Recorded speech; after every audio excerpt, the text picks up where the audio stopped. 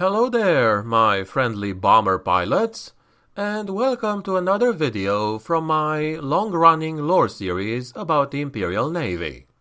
Since last time I talked to you about the ubiquitous Marauder bomber, and also because I've done this for the Valkyrie assault carrier, today I wanted to bring to your attention the three main variants of this popular aircraft. These are the Destroyer, the Colossus, and the Vigilant. I will be offering details on the roles of each, and of course their armaments and loadouts. One last thing I should note is that while these three variants are different in their role and firepower, they are based on the same template, so it all might sound a little bit samey. I am your host, the Grimdark Narrator, and without further ado, let us learn more about the Marauder variants, shall we? The Marauder Destroyer The Marauder Destroyer is a variant of the standard Marauder bomber that is used by the Imperial Navy as its primary atmospheric bomber aircraft. The Destroyer is the most widespread variant of the Marauder and is specialized to performing low-level ground attacks instead of high-altitude strategic bombing. The Marauder Destroyer features a reduced payload in favor of overwhelming direct firepower. It was first developed during the Second War for Armageddon, where it was outfitted for night operations and armed to carry out precision strikes on key targets. The Marauder destroyer was accepted by the Adeptus Mechanicus after the conflict as an officially recognized variant of the Marauder bomber, and it has become common in the Imperial Navy's bomber wings. The destroyer is more heavily armed than the standard Marauder, featuring three sets of nose-mounted twin-linked autocannons instead of a single set of twin-linked lascannons, and up to eight Hellstrike missiles located on external wing-mounted hardpoints. The Marauder destroyer has a smaller bomb bay capacity and is able to carry only six heavy bombs as opposed to the standard design's 12. The destroyer variant of the Marauder also replaces the standard rear-mounted set of twin-linked heavy bolters with a set of twin-linked assault cannons, giving the aircraft greater protection against enemy flyers. This craft can be outfitted with ejection seats or an armored cockpit, if these are not already installed, and either flare or chaff launchers, which are used to confuse incoming fire, making it more difficult for enemy aircraft to damage the Imperial flyer. It can also be equipped with infrared targeting equipment for better accuracy in certain unfavorable environmental conditions, such as nighttime, where the visual sighting of a target may prove difficult or even impossible. A Marauder destroyer equipped with the ability to drop illumination flares allows for increased ground and air coordination as aircraft fly through the lighted area, which is useful for both locating the foe on the ground and keeping track of other friendly Imperial aircraft in the sky.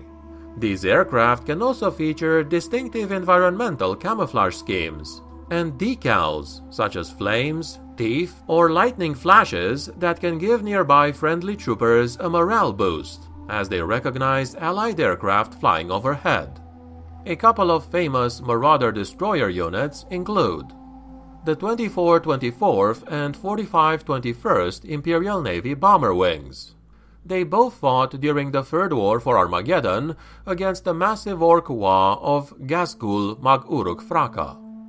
The 23rd Imperial Navy bomber wing this unit was made up of Marauder destroyers during an Imperial campaign on the jungle death world of Denkari Prime. The Marauder Colossus The Marauder Colossus is another variant of the standard Marauder bomber.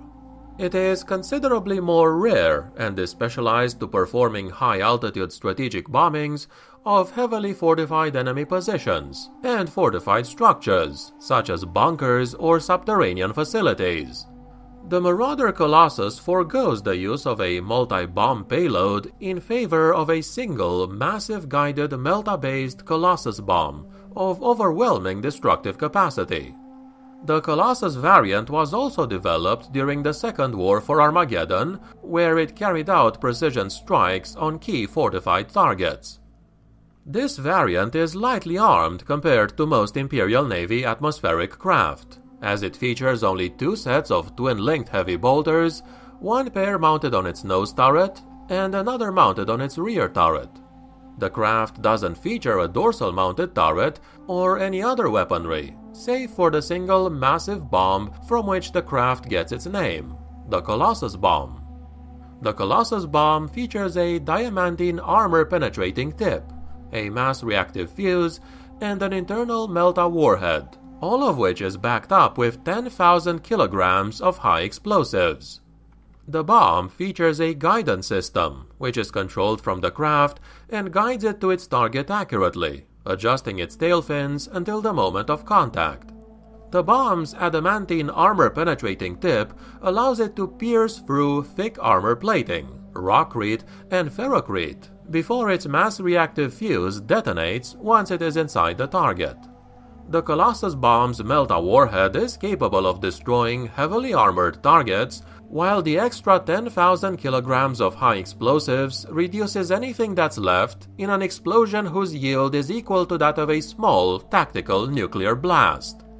The weapon has been used by the Imperial Navy as an effective Titan killer, since a direct hit from the weapon will result in catastrophic damage to any target, including god machines or super heavy tanks, such as the Baneblade or Shadow Sword. The Marauder Colossus's bomb bay is modified from the standard design so that the bomb is able to fit, which requires the removal of both the bomb bay doors and the ability to mount a dorsal turret.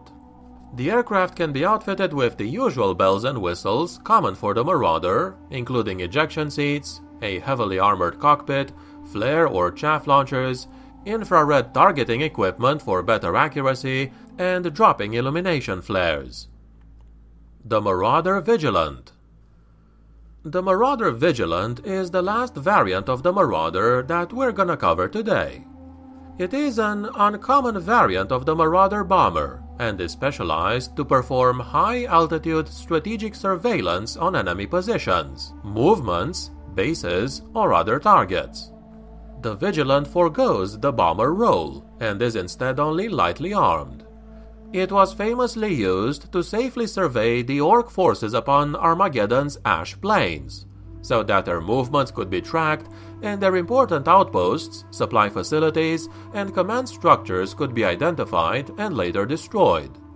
After the conflict, the vigilant pattern was recognized by the Adeptus Mechanicus, and they have been used by the Imperial Navy as reconnaissance aircraft ever since. The Marauder Vigilant is lightly armed compared to other Imperial craft, as it features only two sets of twin-linked heavy bolters one mounted on its nose turret and the other on its rear turret.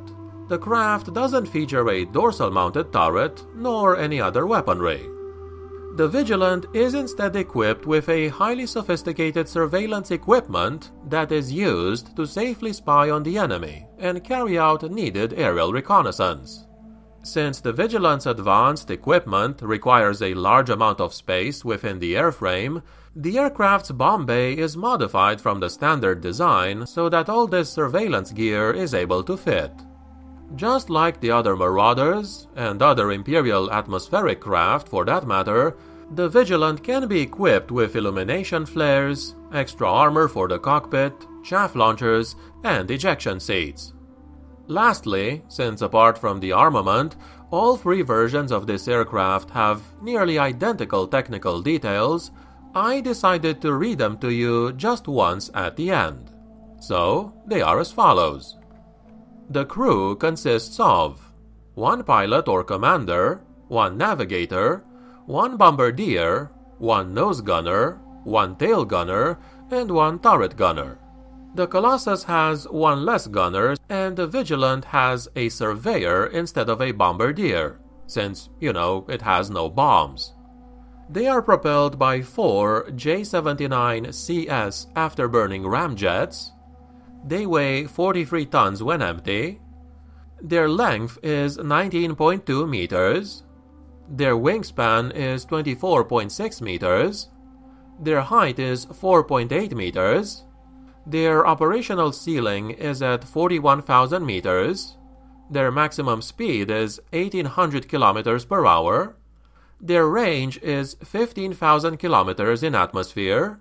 Their superstructure and hull armor is 45 mm and 30 mm respectively. And these, my friends, have been the variants of the Marauder I wanted to bring to your attention today. If you have any thoughts or questions, please let me know and write them in the comments below. Was this video informative or entertaining? In that case, please consider clicking the like button and subscribing for more content. I thank you kindly for watching, and I wish you all a very beautiful day. The Emperor protects.